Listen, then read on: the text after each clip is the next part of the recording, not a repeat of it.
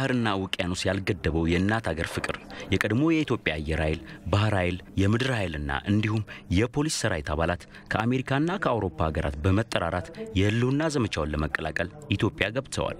ለሰራዊቱ አባላት በቦሌ አየር ማረፊያ በመገኘት ከውጭ ጉዳይ ሚኒስቴር፣ ከመከላከያ ሰራዊት፣ ከባህር ኃይልና እንዲሁም ከቀድሞ የኢትዮጵያ ሰራዊት አባላት የተውጣጡ ተወካዮች አቀባበል አድርገውላቸዋል። በአቀባበሉ ስነ ስርዓት ወቅትም በቀድሞ የወያኔ ስርዓት በግፍ ተሰደው ከኢትዮጵያ እንደወጡ የተናገሩት አባላቱ የህልውና ዘመቻውን በመቀላቀል ለሀገር ደጀን ከመሆን ባለፈ ለመከላከያ ሰራዊቱ ባላቸው የጦር እውቀትና አመራር ለመደገፍ ወደ ሀገር ቤት መግባታቸውን ገልጸዋል። አየር ኃይል አለ፣ ምድር ኃይል አለ፣ ባህር ኃይል አለ እና እንዲሁም ደግሞ የፖሊስ ሰራዊት በአጠቃላይ እዚህ የመጣ ነው። እዚህ አሁን የምንታየ ነው። የሶስቱንም ኃይሎች ያጠቃለለ ኃይል የመጣ በዕለተ ቅዳሜ በ2000 ዓመተ ምህረት መጋቢት 27 ቀን በዛ ላይ የሞት ፍርድ ፈርዶባቸዋል። ለኢትዮጵያ በተዋጉ ለአንድነት በተዋጉ ልክ አሁን ተከዜ ላይ ገሎ ገሎ ገሎ እዛ ላይ አጋድሞ የጦር ኃይሉ ወታደር እንደገደላቸው አድርጎ ለሲኤንኤን እንዳቀረበው ሁሉ ሐውዜንንም ድራማ ሰርቶ ነው እነዚህ ሰዎች የፍርድ ቤት የሞትና የእድሜ ልክ የተቀጡት። ያለንን ጊዜ የፈለገውን ነገር በምታሰማሩን መንገድ ተሰማርተን ያው at least የሚደረገውን አስተዋጽኦ እናደርጋለን።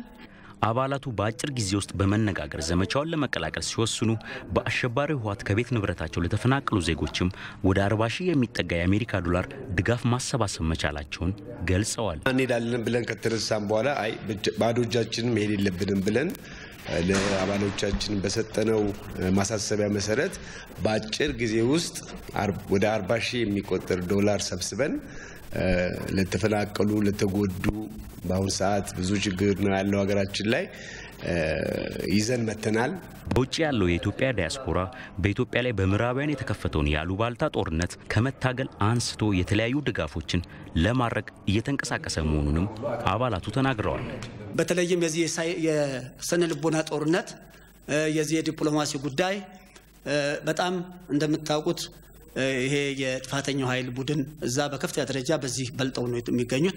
ስለዚህ ያንን ለማምከን ደግሞ ከፍተኛ የሆነ ስራ እየተሰራ ነው ያለው እና እንደምታዩት በየ አሁን በሚዲያ ሁላችንም ትከታተላላችሁ።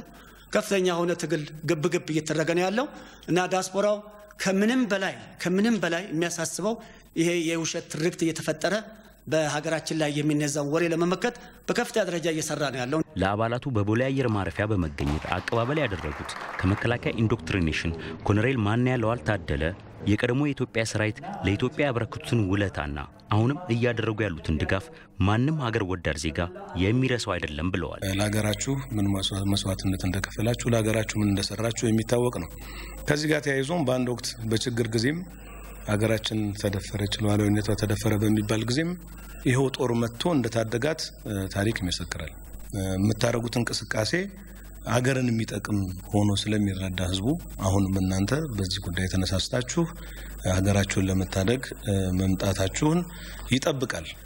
ወደ ተቋማችን መጥታችሁ በሙያችሁ፣ በእውቀታችሁ፣ በገንዘባችሁም ጭምር ድጋፍ ለማድረግ ስለመጣችሁ በተቋማችን ስም ክብርና ምስጋና ይገባችኋል። በቀጣይም ሌሎች ተጨማሪ የቀድሞ የሰራዊት አባላት ከውጭ ወደ አገር ቤት በመግባት የህልውና ዘመቻውን እንደሚቀላቀሉም ተገልጿል።